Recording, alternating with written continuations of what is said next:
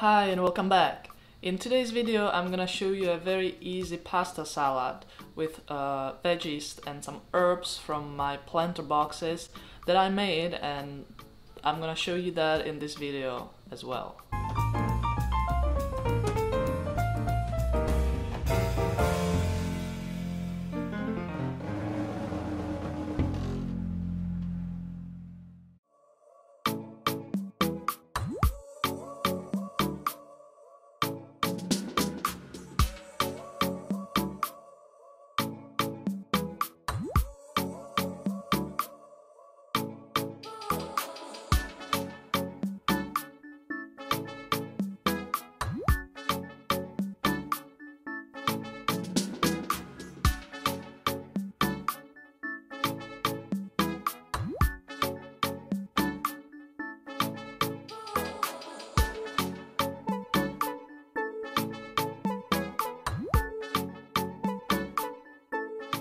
And this is where we are gonna pause this recipe and I'm gonna show you how I made this awesome planter boxes. So you can find many instructions on YouTube.